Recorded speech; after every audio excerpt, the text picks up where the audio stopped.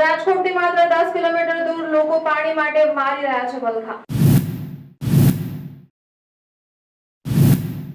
હજી તો ઉનાળાની શરૂઆત થતાં પાણીના ધાંડલા થઈ રહ્યા છે. ત્યારે રાજકોટના પારડીમાં આશરે પંદરથી વીસ હજારની વસ્તી ધરાવતા ગામમાં પાણીની કે રોડ રસ્તાની સુવિધા નથી મળી રહી.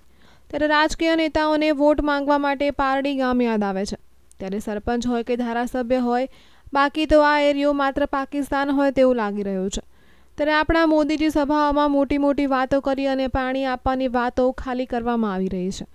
આ પારડી ગામમાં ઘણા સમયથી પાણી વગર તરસ્યું મરી રહ્યું છે અને મોદીજી પાકિસ્તાનને પાણી બંધ કરાવવાની વાતો કરી રહ્યા છે. એનો મતલબ કે મોદીજી પાકિસ્તાનની અંદર પાણી આપે છે, પણ આ પાણીને પાણી આપતા શું પાપ લાગી રહ્યું છે. ઇબ્રાહિમ ખોખર સાથે જવીદ ગુર્જર, એનએસ ગુજરાત ન્યૂઝ, રાજકોટ.